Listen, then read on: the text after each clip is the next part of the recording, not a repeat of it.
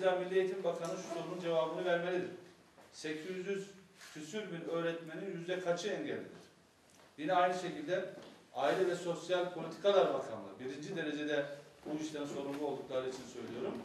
Kendi kurumlarında çalışanların yüzde kaçı engellidir?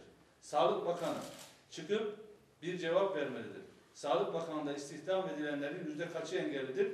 Ve tabii ki bütün Türkiye'de çalışanları öğrenmek adına net Çalışma Bakanlığı çıkıp tam gerçek sayı, gerçek rakamı, kamuda kaç engelli kardeşimiz çalışmaktadır, özel sektörde kaç engelli kardeşimiz çalışmaktadır, bunu bize net bir şekilde kamuoyuna bildirilmesi gerekir diye düşünüyoruz.